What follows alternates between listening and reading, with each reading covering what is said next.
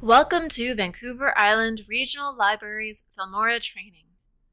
Episode 2 Adding Media, Preview a Clip, Select portions of a clip, Add media to the timeline, Size timeline clips up and down. So the first thing we're going to do is add media to our project. So you can either drop and drag it here into the media section or we can also click the media area to import it from our computer. So we'll click that, and you'll be prompted to browse your computer to find the files you want. So we already have this particular file folder open, so you can see what we're looking for.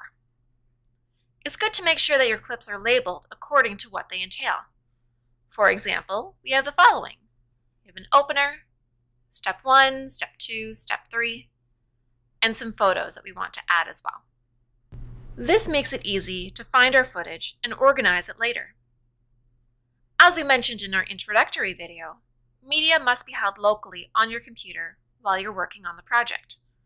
Filmora connects to the location of the media when working with it. So this means it either needs to live on your desktop, or if you have the media on a USB, you need to have the USB plugged in when using Filmora.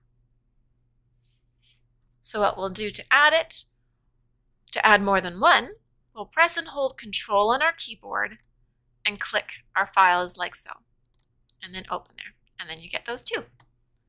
I'm also going to come down here to our file folder, which is open, and select our step two, press Control, add step three, and our photos.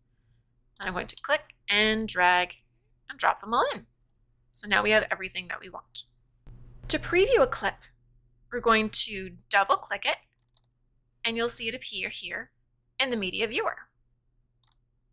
To add a whole clip, you would drag and drop into the media timeline here, anywhere on the timeline, or you could press the plus sign.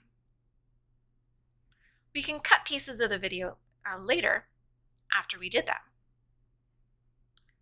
To select a part of your clip and add it to the timeline, we're going to make sure to add the in and out points of the video. So we can either do that by selecting the mark in and mark out points here.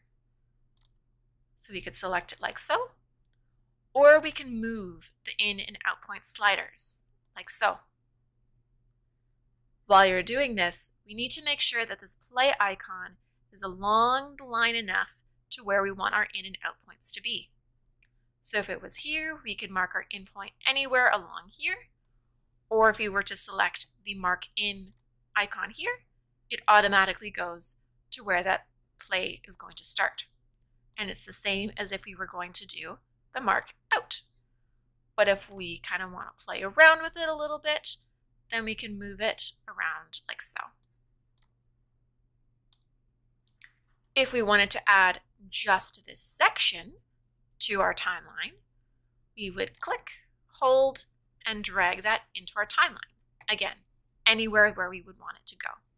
You'll notice that it's coming over here to the video viewer here, not on the second line for music.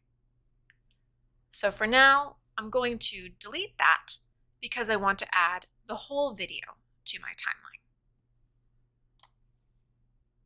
And we'll put it right if you select the plus sign, the media will be added to where the playhead, which is this red line, is in the timeline.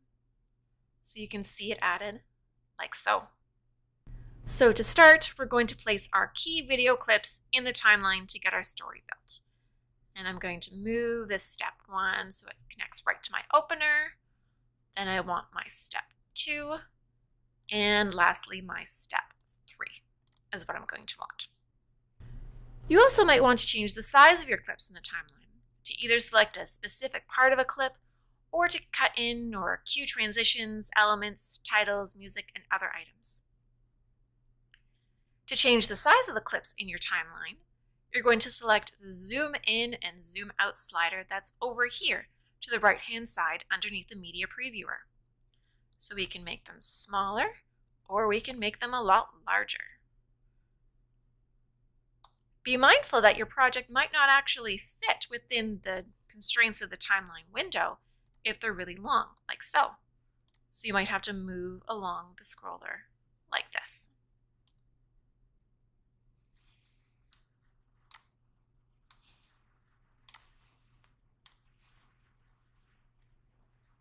For this project, we have several shots that will connect together to tell our story. These clips have some mistakes that I want to cut out, so I'll be chopping up my clips into even smaller clips. The first thing that I'll have to do is do color correction. This will make sure that it's bright enough, there isn't overexposure, and other things. This is counterintuitive to, to traditional video editing best practices, However, in Filmora, you cannot copy color correction from one clip to another, nor can you select several clips at once to complete color correction. You can follow along with this in our next video.